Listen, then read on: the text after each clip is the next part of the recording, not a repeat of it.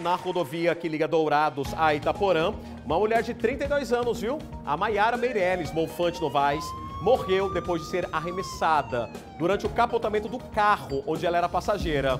A vítima estaria grávida, pessoal. A vítima estaria grávida. João Rocha, eu volto com você direto de Dourados. Detalha para mim, volto com você, João. Bom dia, Rodrigão. É isso mesmo, o acidente ele aconteceu na tarde desse sábado, é, numa rotatória é, da rodovia estadual MS 156 que liga Dourados a Itaporã.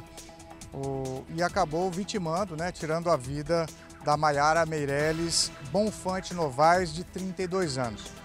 O companheiro dela é quem conduziu o veículo no momento do acidente. O casal que reside aqui em Dourados estariam indo visitar alguns parentes no distrito de Santa Terezinha, que fica no município de Itaporã. E por motivos que ainda estão sendo apurados, ele teria perdido o controle do, do veículo e capotado. Durante o capotamento, a Maiara foi arremessada para fora do veículo e bateu forte com a cabeça no asfalto. O o motorista, o companheiro, ele teve ferimentos, mas apenas ferimentos leves. O, uma equipe do SAMU foi acionada, esteve no local, mas nada pôde fazer porque a Maiara já estava sem vida.